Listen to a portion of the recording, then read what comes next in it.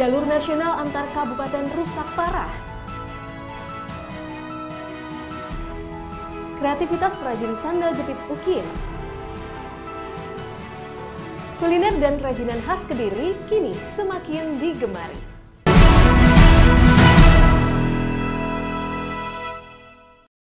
Selamat pagi saudara, apa kabar Anda hari ini?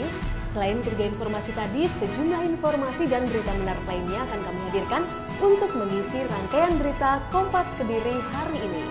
Selama 30 menit ke depan bersama saya Luana Yunaneva, inilah Kompas Kediri selengkapnya.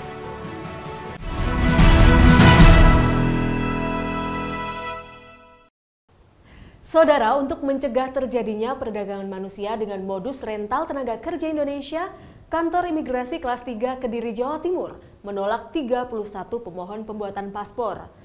Alasan penolakan tersebut dikarenakan para pemohon yang mayoritas calon tenaga kerja Indonesia tak sanggup melakukan registrasi secara prosedural.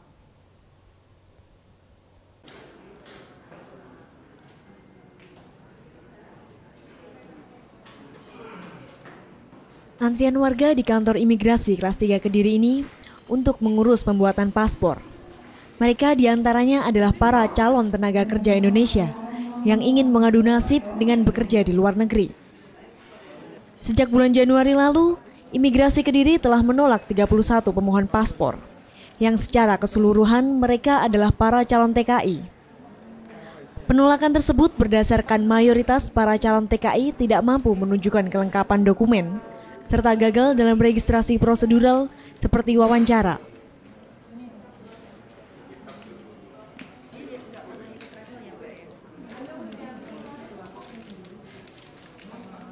Imigrasi kelas 3 Kediri mengaku penolakan terhadap puluhan pemohon paspor itu dilakukan untuk melindungi para tenaga kerja Indonesia di luar negeri.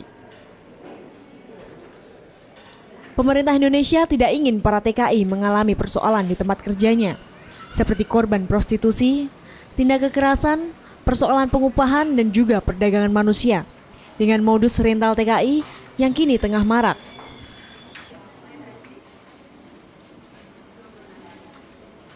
Untuk melindungi uh, eh, TKI, uh, eh, keberangkatan uh, pencegahan TKI yang non prosedural. Hmm sejauh ini Pak uh, penolakan itu apakah ada gambaran di luar negeri akan diadakan trafficking dan sebagainya? Gitu? Ya kemungkinan ya kalau misalnya dia berangkat uh, secara non prosedural hmm. ya akan terjadi permasalahan di luar negeri nantinya. Hmm.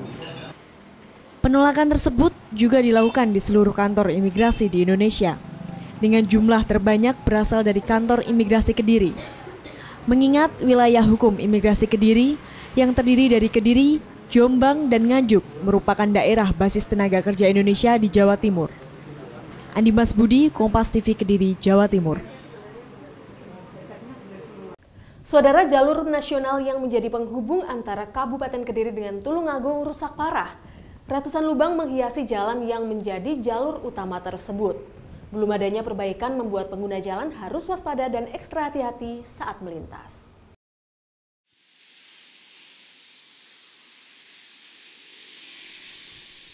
Kondisi jalan yang merupakan jalur utama penghubung antara Kabupaten Kediri dengan Kabupaten Tulungagung sungguh memprihatinkan.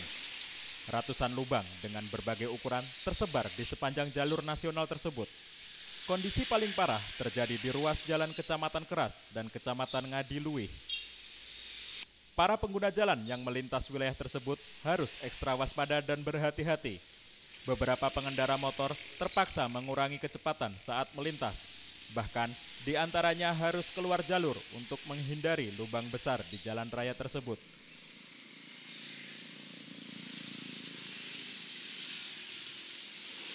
Kondisi jalan ini bertambah parah saat hujan turun karena lubang tersebut tertutup genangan air dan membahayakan pengguna jalan.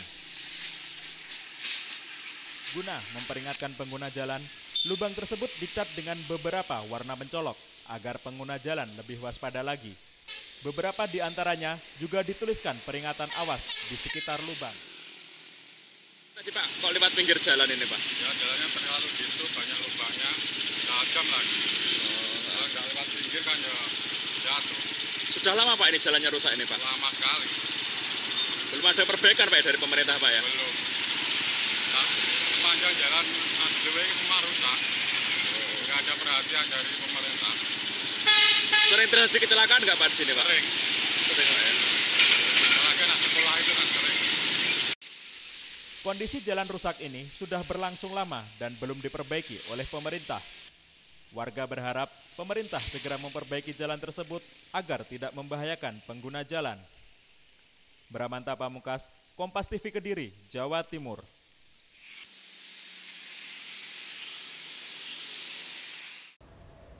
Dari informasi bencana saudara, hujan deras yang mengguyur wilayah Kediri, Jawa Timur membuat jalur utama penghubung desa longsor. Akibatnya jalur tersebut hanya tersisa sebagian jalan dan cukup membahayakan bagi para pengendara.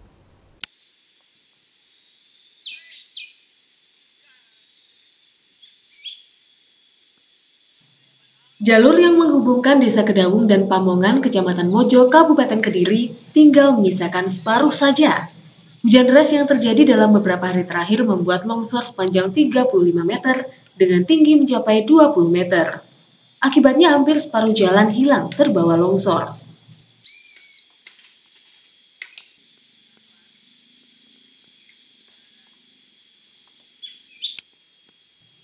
Sebelumnya longsor sepanjang 25 meter terjadi di jalur ini. Pihak Pemkap Kediri telah membangun plengsengan bronjong. Namun pengerjaan tersebut belum usai dan longsor susulan terjadi. Longsor ini juga mengancam lima rumah yang tepat berada di bawahnya. Rusaknya jalan ini membuat kegiatan ekonomi warga terganggu. Warga di kedua desa tidak bisa beraktivitas lancar karena mereka harus berhati-hati saat melintasi jalan tersebut. Warga berharap pihak pemerintah segera memperbaiki jalan agar kegiatan bisa normal seperti sebelumnya. musim penghujan itu satu hari satu malam mas itu terus hujan lah akhirnya tanah ini gerak terus akhirnya terjadi longsor itu Tapi yang sebelah sana memang sempat diperbaiki ya sebelah sana. sudah diperbaiki mas masih dalam proses pengerjaan tapi belum selesai gitu. Terus disusul yang ini. Ah, ah, ini yang barat itu 28 meter belum selesai terus ini terjadi longsor lagi gitu. Berapa meter Pak? 35 meteran lah jadi panjang 35 ketinggian 5 meter Intensitas hujan yang masih tinggi menyebabkan beberapa daerah di Kabupaten Kediri rawan terkena bencana. Sementara pihak Badan Penanggulangan Bencana Daerah sudah memetakan 12 kecamatan yang rawan bencana. Bramanta Pamungkas, Kompas TV Kediri, Jawa Timur.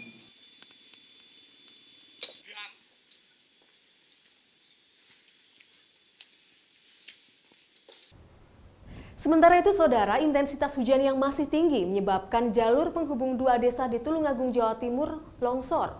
Warga bergotong royong memberi tanda pagar di sepanjang longsoran agar pengguna jalan tidak terperosok.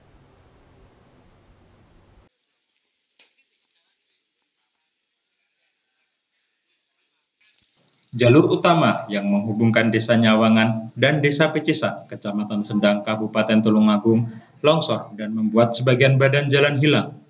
Hujan yang terjadi selama satu hari penuh membuat tanah longsor hingga sepanjang 40 meter. Longsor tersebut juga menimpa sebuah bangunan yang tepat berada di bawah. Bangunan yang selama ini dijadikan bengkel pembuatan pintu tersebut hancur total setelah tertimpa longsor setinggi 25 meter. Beruntung, tidak ada korban jiwa dalam longsor ini. Untuk menghindari adanya kecelakaan, warga bergotong royong memasang pagar bambu di sepanjang longsoran. Pagar bambu ini sangat berguna agar pengguna jalan lebih berhati-hati lagi saat melintasi di jalur tersebut. Warga juga memasang penahan agar longsor tidak semakin menjalar.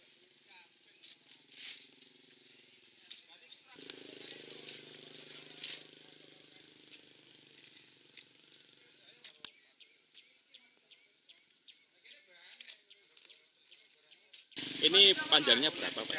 Kira-kira panjangnya 40 meter, terus kedalaman itu 25, terus lebar 50. Ini yang dilakukan warga saat ini apa Pak?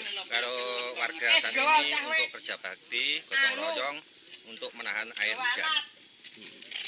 Ini, ini jalan ini menghubungkan desa mana sama? Kalau jalan ini tembus desa Nyawangan, kalau ke atas, kalau ke bawah Karangrejo.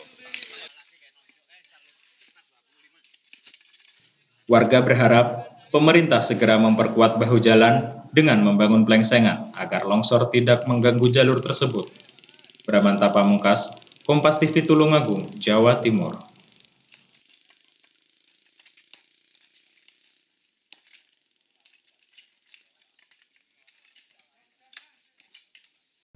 Saudara, hari ini sebagian wilayah eks-Karisdenan Kediri hujan dengan intensitas sedang dengan suhu 22 hingga 32 derajat Celcius.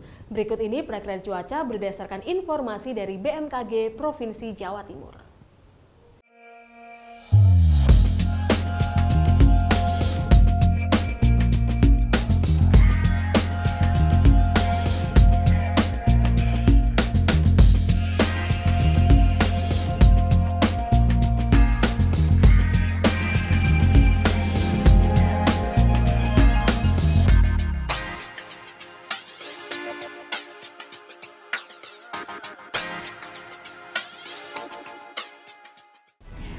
Saudara, mesin ATM biasanya digunakan untuk transaksi uang.